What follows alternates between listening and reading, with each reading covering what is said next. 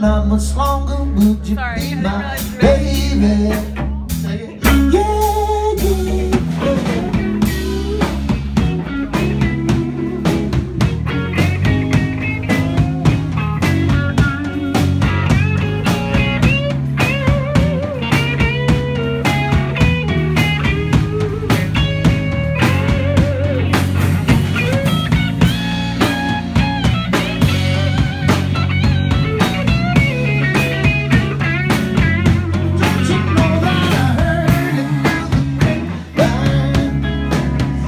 strong.